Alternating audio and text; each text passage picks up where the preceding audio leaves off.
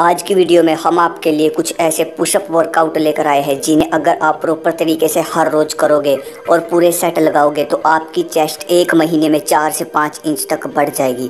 एक बात तो पक्की है, आपकी छाती तब तक नहीं उभर कर निकलेगी, जब तक आप अपनी गलतियों को नहीं सुधारोगे। तो कौन सी है वो गलती जो नब्बे लोग करते हैं पुशअप लगाते समय? पहला है स्पीड में पुशअप लगाना। भाई, क्या दिखाना चाहते हो? स्पीड में पुशअप लगाने से सिर्फ़ पोजीशन ख़राब होती है और कुछ नहीं होता। इसीलिए पुशअप धीरे धीरे लगाया करें, जिससे आपकी छाती पर पूरा लोड पड़े। पोजीशन ख़राब होने की वजह से भी छाती ग्रो नहीं होती और कम पुशअप लगाने की वजह से भी छाती ग्रो नहीं होती। ये एक कड़वी सच्चाई है।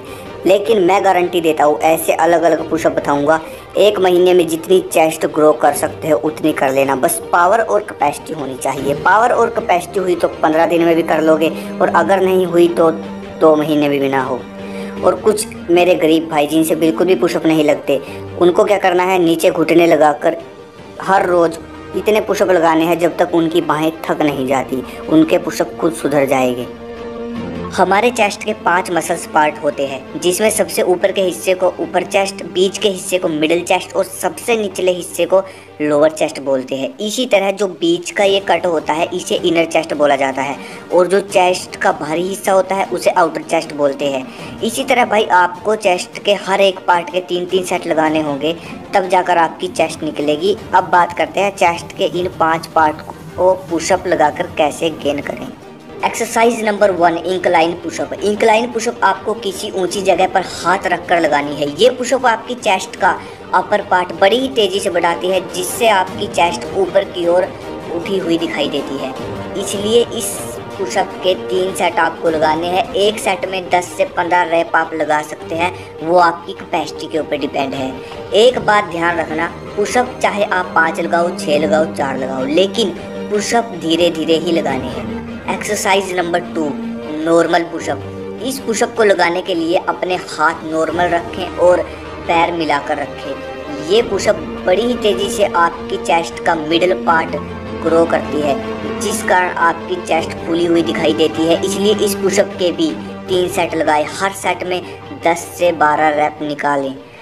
Exercise number three decline pushup ये पुशअप आपको अपने पैर किसी ऊँची जगह पर रखकर अपने हाथों को खोलकर लगाने हैं। ये पुशअप आपकी चेस्ट का लोअर पार्ट बढ़ाती है, जिस कारण आपकी चेस्ट नीचे से फुली हुई और गोल दिखाई देगी। इसलिए इस पुशअप के भी आप तीन सेट लगाए।